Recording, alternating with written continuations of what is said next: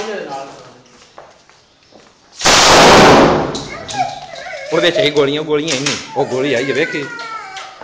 ਚੁੱਪ